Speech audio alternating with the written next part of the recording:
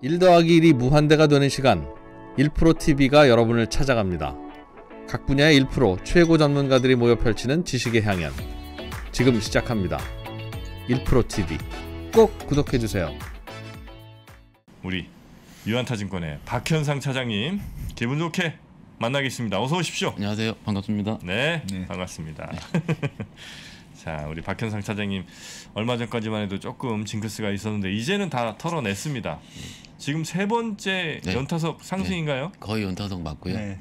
이쯤이면 이제 잊으셔도 될 듯합니다. 아유 고맙습니다. 예. 네.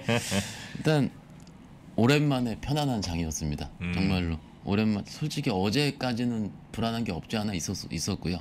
어제도 강하게 상승을 했는데 특히 저희가 시장 매매를 할 때 3일째 상승을 굉장히 고무적으로 생각을 하는데 어, 거래소가 3일 연속 올랐기 때문에 아 그렇습니까? 예 그래서 조금 고무적이었고요. 음흠. 잠시 좀 11월 잠깐 말씀드리자면 11월에까지가 저희 7월부터 11월까지가 5개월 연속 음봉이었습니다. 거래소가. 5개월 연속요? 네, 네. 음. 거래소가. 음. 그러니까 5개월 연속 음봉이 거의 안 나왔었는데 그러니까 월 월봉으로 봤을 때 월봉상으로 7, 8, 9, 10, 11이 다 네, 음봉이었어요. 그랬네요. 예, 예. 음. 그러니까 그런 적이 거의 없었는데 12월까지 나오면 안 되는데 11월 달에 2조 5천억을 외국인이 샀거든요. 음. 그러함에도 불구하고 음봉이 좀 나왔었고 음. 12월은 12월은 저희가 지금 3거래일 지금 장을 열었는데 네. 3거래를 합쳐서 2조 샀습니다. 예? 그래요? 외국인이요. 예, 합쳐서요. 어. 그러면은 음. 네.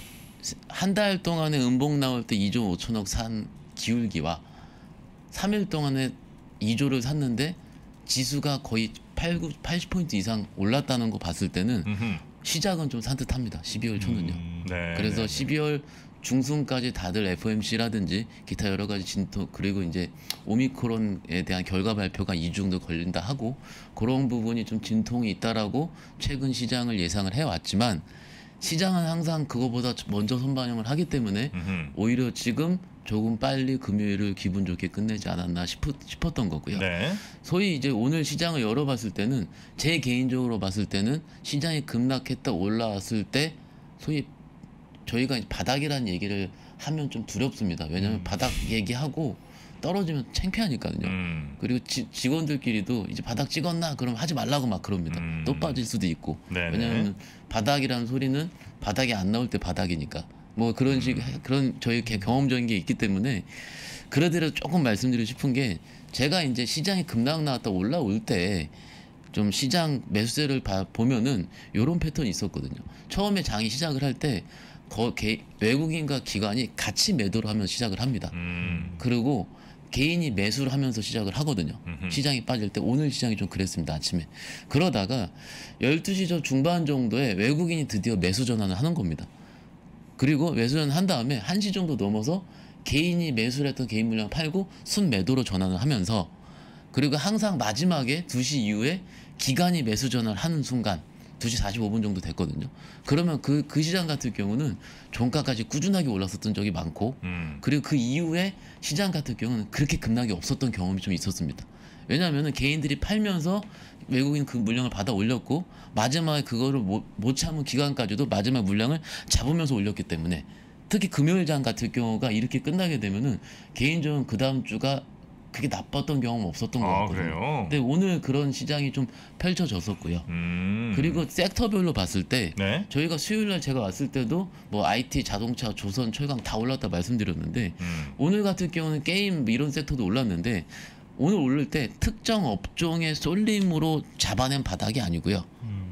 섹터 모두가 2, 3일 연속 고르게 올라가면서 아. 잡힌 부분이 있기 때문에 오히려 확인할 수 있었다는 부분이고 음. 이게 모든 그 약간 걱정되는 거는 이렇게 지금 다 올라왔는데 모든 섹터가 전부 주도주가 되지는 않기 때문에 음. 오히려 더 흥분할 필요는 없다라는 부분을 먼저 좀 말씀을 좀 드리고요. 네. 그리고 이제 항상 이게 이제 저희가 이제 상승 종목수, 하락 종목수를 시장의 컬러로 얘기를 하는데 음. 오히려 12월 1일 날 60포인트 올라올 때 상승 종목수가 700개 정도였거든요. 하락 종목수가 120개. 오늘은 지금 23포인트 올라서 2,968포인트입니다. 네. 그럼 별로 그렇게 오른 건 아닌데 음. 상승 종목 수가 12월 1일보다 더 많습니다. 음. 807 종목이고요. 음. 하락 종목은 95개밖에 안 됩니다. 오. 그러면은 컬러 자체가 네. 안도 랠리가 나왔다라는 게 좀 더 맞을 수가 있거든요. 그렇기 때문에 시장 측면에서 봤을 때는 조금은 그래도 긍정적으로 전반적인 시장 봤을 때 긍정적으로 봤다고 말씀드릴 수 있겠고요. 특히 조금 더 고무적이었던 점 같은 경우는 거래소는 3거래 연속 순매수를 했는데요. 오늘 같은 경우에 코스닥이요. 코스닥이 기관이 순매수를 했는데 거래소는 기관이 886억, 주체는 그래도 금융투자 연기금 고루 매수를 했는데 코스닥 같은 경우는요. 오히려 980억을 샀습니다. 오히려 기관이. 음. 거래소보다 더 많이 샀습니다. 네네. 그리고 매수 주체 같은 경우가 금투, 보험, 투진, 사모, 연기금까지 다 샀습니다. 코스닥 오히려. 음. 근데 저희 개별 종목 매매할 때 한 종목을 그 기관들의 모든 섹터가 다살 때 수급이 굉장히 뒤바뀌는 경우가 가끔 있거든요. 근데 정말로 코스닥이 오랜만에 요 패턴을 좀 본 것 같아요. 음. 그래서 너무 흥분하지도 않고 그렇다고 너무 냉소적이지도 않게 시장을 바라보면은 다음 주에 그래도 우리가 시장이 좋아야 내가 집중할 수 있는 섹터를 좀 더 강하게 베팅을 할 수 있고 약한 섹터 같은 경우는 조금 비워내더라도 강한 섹터로 내가 좀 더 추가 매수할 수 있는 그런 환경이 조금씩은 조성되는 조성되지 않을까라는 좀 기대감을 가지면서 일단 오늘 시장을 마감을 했고요. 이게 이제 오늘 아침 같은 경우가 나스닥 선물을 좀 밀릴 때 나스닥 선물 좀 밀렸었어요. 근데 그때 이제 오미크론이 하와이도 뚫렸다 그러더라고요. 네. 아 예, 하와이도. 네, 그러니까는 막상 우리가 시장에서 아침에 악재로 받아들였을 것 같은 경우가 이제 이제 오미크론 확산이 되면은 시장이 악재고 음. 그리고 우리 시장 같은 경우도 코로나 확진자 수 5천 명 넘는 건 당연한 거고 음. 오미크론 확진자 수가 그분의 뭐 자녀분까지 확장이 됐고 그리고 오늘 정부에서 사회적 거리두기 그러니까는 그 방역 강화 대책을 발표를 했잖아요. 음. 그러면 시장이 약한 장 같은 경우는 이게 방역 대책 발표한다는 것 자체가 굉장히 critical한 시그널이 될 수가 있기 때문에 시장을 밀어버리거든요. 음. 근데 밀어버리지 않고 방역 대책이 발표됨에도 불구하고 시장이 오후까지 꼿꼿이 올라왔다라는 점 같은 경우도 조금 고무적이었고요. 이게 방역 강화 대책이 이제 여섯 명으로 줄어들더라고요. 이제 사적 모임 같은 아, 경우가. 10명에서 6명으로 수도권 이제 여섯 수도권은 명이- 그렇고 예, 그리고 뭐 식당이라든지 네. 카페 같은 필수 시설 같은 경우에 방역 패스가 방역 패스가 이제 네. 필수적이다 이런 부분 나왔는데 비수도권은 12에서 8으로 줄었습니다. 예, 맞습니다. 네. 그러면은 여기서 이제 생각해 볼 분은 음. 지난주에 오미크론이 나오면서 진단 키트 업종이 굉장히 셌었는데 음. 진단 키트 업종이 월요일 날 하루 셌었고요. 이번 주 내내 빠졌습니다. 오늘 조금 올랐고요. 네. 예, 오늘 조금 뭐 1, 2% 반등이 반등도 아닙니다. 음. 그러면 주말 사이에 그것도 이제 진단 키트도 월요일 날 시가가 거의 고점이었거든요. 그러면 그때 거기서 베팅하셨던 분들 같은 경우 이번 주 내내 맞은 거예요. 매물을. 음. 그리고 그 중간 중간에 뭐가 나왔었냐면 재택근무라든지 그리고 원격 교육이라든지 원격 의료라든지 그런 종목들이 미리 튀었었던 종목들은 밀렸고 음. 몇몇 종목들 그런 섹터에 있는 몇몇 종목들 같은 경우는 튀지 않은 종목들 같은 경우는 차트가 그래 조금씩은 움직이지 않고 있다 이런 거거든요. 그러면 이제 대부분의 이번 주에 시장이 조금 어려웠다고 뭐 저는 많이 어려웠습니다 오늘 빼놓고는 네. 어려웠다 생각하셨던 분들이 조금이나 매매 패턴을 찾으려고 그쪽으로 들어가셨었는데 그런 분들 같은 이번 주에 다 망한 거죠. 음. 굉장히 안 좋았습니다. 그래서 앞으로도 매매하실 때 이제 좀 트렌드를 좀 보고 하시는 게 어떨까라는 부분을 좀 말씀을 드리고요. 좀더 추가적으로 이제 섹터별로 좀 말씀 좀 드려보도록 하겠습니다. 이게 지금 섹터별로 봤을 때 최근에 수요일 날 장이 강할 때 우리가 알고 있는 게임, 메타버스, 뭐 NFT 이런 쪽 섹터 굉장히 약했거든요. 네. 약했었는데 오늘 아침에도 아침에 미국장이 나스닥 선물이 약할 때 그때 같은 경우도 그쪽이 약했다가 이제 위메이드가 조금 치고 올라가는 거예요. 네. 올라가니까는 다른 종목 게임주들이 많이 올랐습니다. 음. 특히 오늘 같은 경우에는 그, 하, 그 하루마다 그 섹터의 대정 역할을 하는 종목들이 조금씩은 바뀌게 되는데 음. 오늘은 단연코 NC소프트라고 말씀드릴 수 있습니다. 아, 예, 그래요? NC소프트가 오늘 종가 기준으로 5.5% 올라서 끝났고요. 음. 증권사에서 보고서가 나왔는데 리니지 W가 런칭을 한 지 한 달 정도 됐는데 네. 그 견조하게 흥행은 여전히 지속적이라고 합니다. 음. 그리고 이제 하, 그 실적 개선세 같은 경우는 지금 미미하게 개선되고 있지만은 4분기부터 본격적으로 개선될 확률이 높다라는 거고 내년 같은 경우에는 NFT화된 게임 자체가 충분히 나올 수가 있기 때문에 음. 충분히 가능하다. 그럼 네. 지금까지 봤을 때 뭐 펄어비스라든지 뭐 예를 들어서 위메이드라든지 소위 P2E 게임으로 특화된 종목들이 강하게 쳤다 밀렸다면은 음. 지금 같은 경우는 NC소프트가 밑에서 올라오니까는 막상 W 게임즈라는 회사 그 회사 같은 경우는 예전에 오르다가 그 P2E 안 한다 그래서 빠졌다가 굉장히 안 움직였었거든요. 근데 음. 그런 종목들이 밑에 다시 움직이기 시작을 하는 거예요. 네. 그러면 P2E뿐만이 아니고 다른 원래 게임주의 valuation적인 측면에서도 시장이 작동하고 있다라는 거고 그것을 오늘 NC소프트가 조금 당겼다 불을 당겼다 라고 보는 게 일단 맞을 것 같습니다. 네. 그러면은 게임주가 올라오게 되면은 기존에 강했던 섹터가 엔터가 있지 않습니까? 엔터 엔터. 엔터 오늘 불 뿜었습니다. 예. 오늘 SM이 아. 11% 올랐고요. 어. 하이브. 하이브 7.4%. 이야. 하이브가 아침까지는 안 올랐습니다. 근데 오후에 장이 빠지지 않고 공, 견고하게 올라 보니까는 오후에 팍팍팍팍 들어오기 시작을 하더라고요. 하이브도. 솔직히 하이브 같은 경우는 최근에 다른 엔터주 빠진 것보다 최근 오를 때 하이브가 급하게 오르진 않지 않습니까? 음. 근데 급하게 빠졌습니다. 그 이유는 BTS 멤버들이 처분을 아. 했다고 해서 아 그랬다 네. 예 예 어제 뉴스가 많이 나왔죠. 어제 그래서 음. 평소에 하이브가 빠지는 폭보다 굉장히 많이 빠졌거든요. 근데 하락폭을 오늘 거의 뒤엎었습니다. 7.4% 정도 음. 올랐던 상황이고 물론 이게 오미크론이랑 거의 연관이 될 수가 있어요. 지금 시장이 오를 때는 오미크론 전파세 같은 경우가 그렇게 영향이 크지 않을 수 있다라는 부분이고 치명률이 줄어들고요.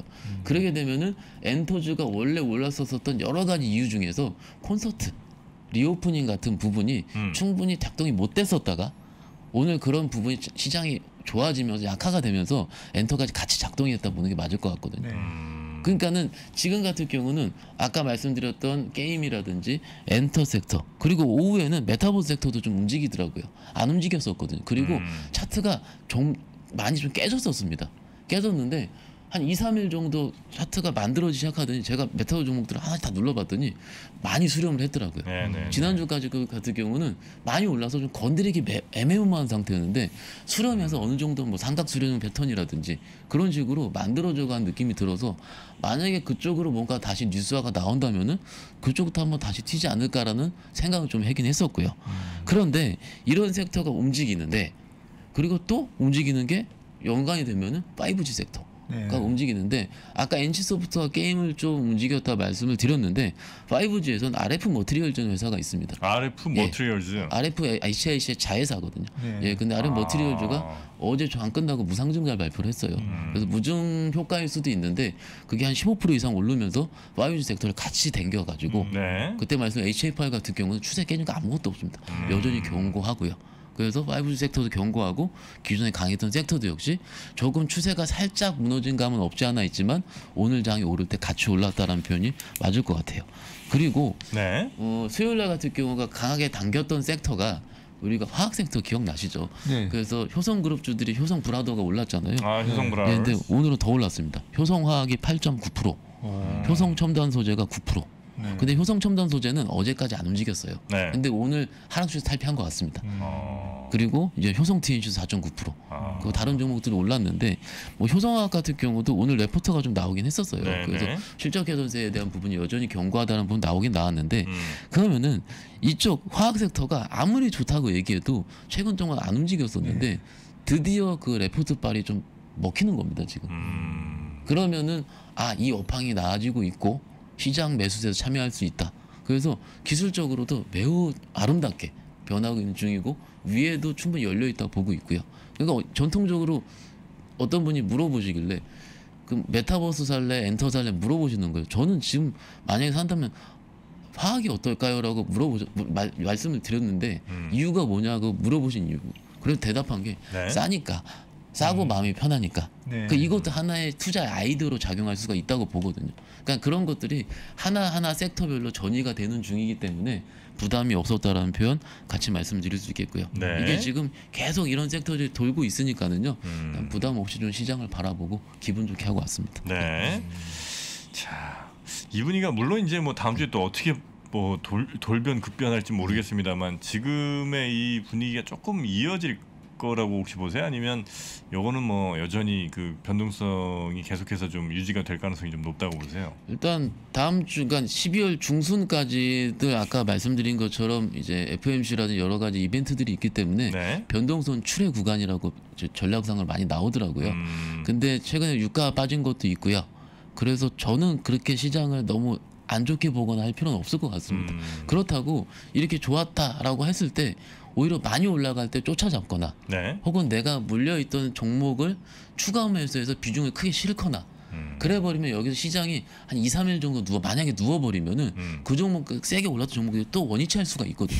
네, 네. 예, 그래서 너무 흥분할 필요도 없어요. 아. 지금 같은 냉정과 열정세. 단 괜찮은 것 같은 경우는 네. 전저점 묵은 수준을 크게 깰 확률은 음, 그래도 매우 적어지지 않았을까라고 생각을 하는 거고요. 네, 네. 오늘 이제 아까 고무적으로 좀 보였던 이유 같은 경우도 이게 특징 업종을 말씀을 드릴 텐데 어제 이제 미국 장에서도 reopening 섹터가 좋았거든요. 음, 그래서 우리 장 시작을 할 때 여행, 항공, 카지노 섹터가 같이 동반으로 떴습니다. 오늘 네. 네. 아침에 떠서 시작을 했고요. 근데 그게 저 아침을 쳐다봤어요. 이게 연, 연관이 되느냐? 여행주 셀 때 가장 빨리 튀는 종목이 노란풍선이라는 종목이거든요. 음, 예. 그럼 이제 만약에 저희가 이제 뭔가 이제 단기 매매를 한다면은 네, 네, 네. 여행주는 원래 오래 들고 가는 주식인데 아 그래도 내가 여행주로 단타 한번 치고 싶어 그러면 노란 풍선으로 하곤 합니다. 아, 네. 그 여행주들 가운데도 네, 그런 네. 부분이 좀 일찍 반응한 모양이군요. 그렇죠. 그리고 음. 뭔가 좀 갑자기 확 튀는 종목은 느낌으로 봤을 때 레드캡터라는 중고차도 같이 하고 있는 아, 회사라든지 레드캡은 네. 좀 예. 더 변동폭이 크고 맞습니다. 아, 대신 그러니까 떨어질 이제- 때도 많이 떨어지겠죠? 맞죠. 예. 네. 그래서 이제 그런 식으로 이제 보고 있었는데 음, 저희 화두는 그거였죠. 노랑 풍선이 10% 이상 떠서 시작을 했는데 음, 이게 20% 30%까지 가느냐 이런 식으로 했는데 거의 고점이더라고요. 그래서 음.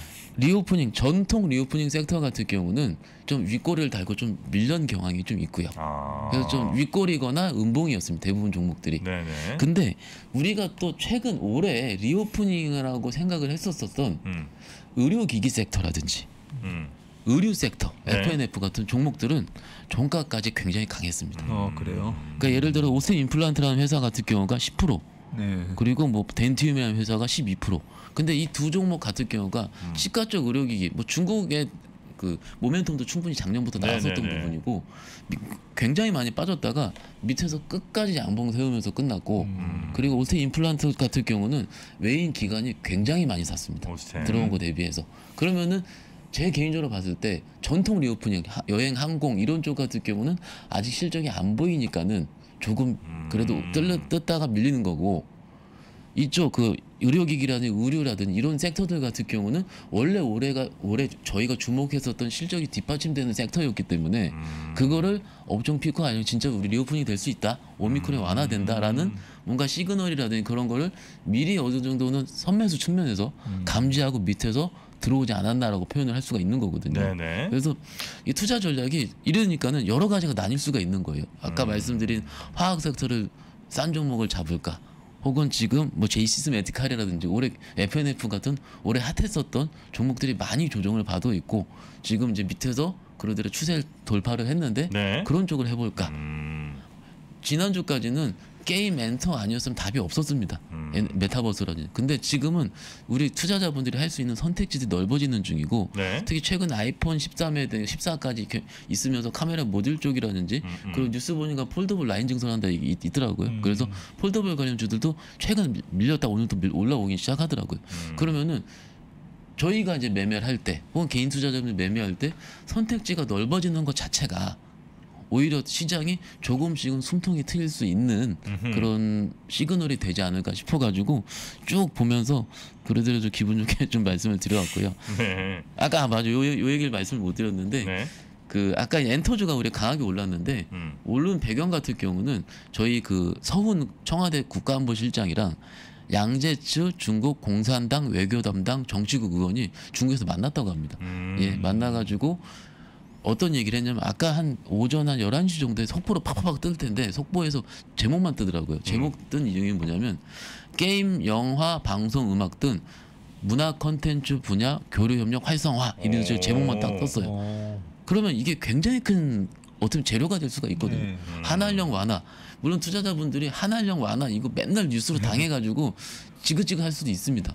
근데 오늘 어찌됐든 엔터 쪽 게임 쪽이 우리가 게임 엔터가 과거에 항상 가다가 말았었던 이유가 중국 한한령이었거든요. 네. 근데 이 지금은 이제 다른 쪽으로 바, 그 발화가 되면서 지금 가고 있는 중인데 네. 이쪽 그 중국 쪽까지 문제가 좀 해결이 된다. 음. 근데 여기서 단 또 이게 내용이 나온 게 그 작년에 개봉된 영화 중에 오문희라는 영화 아세요 혹시? 오문희. 그 나문희 여사님 나오는 그 그 아, 예, 예, 예. 코믹 영화를 하는데 네. 그게 이제 중국에서 공식적으로 상영이 된다고 합니다. 오. 근데 그게 우리나라 영화가 중국 극장에서 상영이 된 거가 2015년도에 암살 이후에 처음이라고 하더라고요. 아니 그러면- 오문희 영화가 네. 개봉을 중국에서 해요? 네. 아니 이게 뭐뭐 뭐 그 영화도 참 좋은 영화입니다만 네. 굉장히 그 어찌 보면 뭐 그래도 나름 블록버스터라든지 좀 더 이 상업적으로 훨씬 더 가능성 있는 영화들도 있을 텐데. 일단 그 중간에 과정 같은 경우가 제가 확인은 못했고요. 네. 근데 뭐 이런 거 자체가 아. 일종의 그래도 하나의 단서가 되지 않을까 또 싶어가지고 시, 시그널이 될 수도 있고 이게 그렇죠. 이제 예. 딱 터지면서 이제 나머지 친구들도 이제 갈 수 있는 음. 그런 상황이 될수 그건 있다 뭐 이거죠. 국가 간의 관계에 달리긴 했겠지만은 음, 그러더라도 이런 식으로 공식적인 발표가 나왔고 음. 이러면은 단순히 다음 달에 이제 안 한다 이런 표현은 저 보진 못했었기 때문에 네. 일단 그거 자체 이런 뉴스들 자체 같은 경우도 충분하게 시장을 좋아지게 만들 수 있는 기폭대가 되지 않았나 음. 같이 좀 생각하고 있습니다. 예. 사실 컨텐츠 쪽은 아유 중국 너무 이제 여러 해 동안 이제 실망들을 많이 해서 중국 오케이 빼고 네. 나머지로 지금 현재 거의 이제 에, 좀 value를 인정받고 있는데 맞습니다. 예. 여기에는 이제 만약에 중국이 혹시 열린다고 하면 플러스 무조건 이건 플러스니까 그러니까 지금- 밸, 예 value? rerating이 되는 거죠. 어, 음, 예 예. 중국을 지금 빼놓고도 요 정도인데 중국이 플러스 될 걸 만약에 가능성을 본다면 훨씬 더 이보다는 좋아질 수도 있겠네요. 물론 이제 안 될 수도 있지만. 그럼요. 예, 예. 네. 아, 콘텐츠 미디어 이쪽으로도 한번 관심을 한번 가져보도록 하겠습니다. 중국 쪽 어, 중국의 고위 인사와 만나서 어, 협력 강화에 대한 이야기를 나눴다 이거죠. 양제츠, 양재치. 양제츠. 내년 2월달에 북경 동계올림픽 있잖아요. 아, 예, 그것 때문에 지네들은 이제 뭐 한한령 하면서 동계올림픽 하니까 또 와주세요. 이럴 수는 없으니까. 지네들.